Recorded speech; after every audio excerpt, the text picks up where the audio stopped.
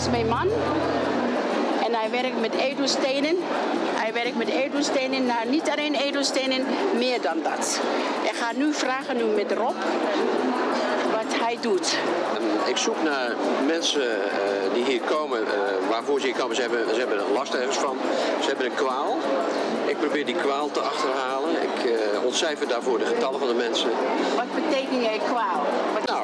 Bijvoorbeeld dat je last van je lever hebt. Of eh, je, hebt, je hebt veel pech in je leven. Of er overkomt je steeds oneerlijkheid. Eh, of je hebt eh, bloedsuikerspiegelproblemen. Of, of noem maar wat. wat. Wat voor klachten dan ook. Psychisch of lichamelijk. Ja. Ontcijfer de getallen van die mensen. En aan die getallen dan zie ik hun kwaliteiten, hun eh, blokkades. Ik kijk naar hun zielendoel. Ja. Wat wil zeggen, eh, een soort niveau van ontwikkeling waar je ziel je ergens in je leven probeert te brengen. Van daaruit dat je daarna gaat handelen. Ja. En ik kijk even naar wat er dit jaar gebeurt en het komend jaar. Wat je kan verwachten voor gebeurtenissen. Aan de hand van die getallen doe ik een voorstel om met die of die steen te werken. Omdat die stenen zeg maar, die problemen aanpakken. Bijvoorbeeld als mensen niet goed geaard zijn eh, en dan veel oneerlijkheid meemaken in hun leven daardoor, geef ik ze een steen om weer te aarden.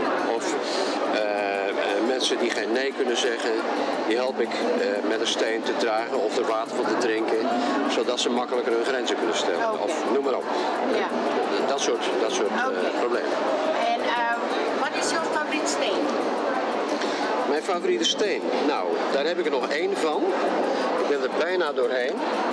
Dat is deze steen. En eh, dat is een jaspis brexie. Wat is dat betekent? Brexie wil zeggen gebroken stukjes, Ja. verenigd in één steen. Ja. En dat is precies wat hij met je doet. Alles wat je niet accepteert van jezelf, vind dit niet leuk aan mezelf, vind je dat geen mooie eigenschap. Die steen die brengt dat bij jou terug en maakt dat je jezelf volledig accepteert zoals je bent. Want eh, het blijkt dat heel veel mensen veel liefde weggeven, maar op de hele planeet aarde is niemand die ze zoveel liefde terug kunnen geven als dat ze zelf weggeven.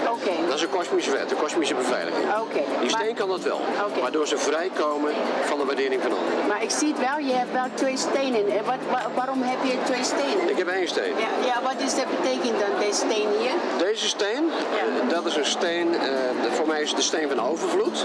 Het brengt in alle opzichten overvloed. Die brengt geluk naar mij, die brengt mensen naar me toe. Eh, maar die maakt ook dat ik makkelijk kan babbelen. Die maakt dat Oké. keel nek chakra open. Ehm, ja, de steen is overvloed. Oké, je hebt allemaal stenen hier. Ja. Zoveel stenen, maar je weet precies wat dat betekent. Met alle Nou. stenen hier. Ik weet niet alles. En eh, wat ik niet weet, dat kan ik opzoeken. En dan geef ik iedereen een beschrijving, een A4'tje met de naam en de werkingen van die steen. Maar je gelooft meer, je gelooft meer in de hemel en hier op aarde. En ook, ook wat je doet hier. Nou, het is voor mij geen geloof, het is meer een weten. Bij een geloof dan, eh, dan heb je nog je twijfels, maar bij een... Bij een Waarom twijfel jij? Nee, ik twijfel niet. Oké. Bij, een, bij een innerlijk weten, dan weet je dat het zo klopt. En je innerlijk weten zit eigenlijk in je hart. Hè? Je kan zeggen, dat is helder weten. Maar het is meer een wetenschap onderzoeken. Nou ja, ik, ik zie het leven als één groot onderzoek. Hè? Dus onderzoek alles eh, wat met getallen te maken heeft, maar ook met situaties.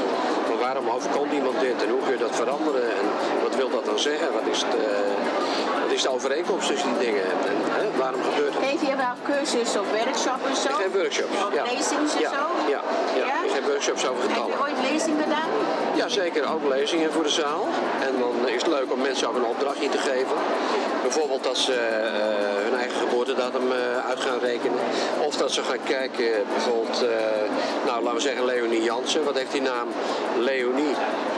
Brengt dat aan energie in die familie Jansen?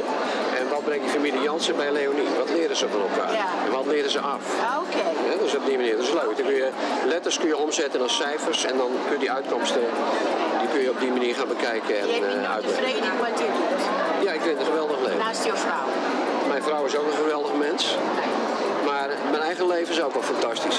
Ja, Mooi. Nou, dankjewel Liris. ja oké. Alle Dankjewel en veel succes Ja, dankjewel.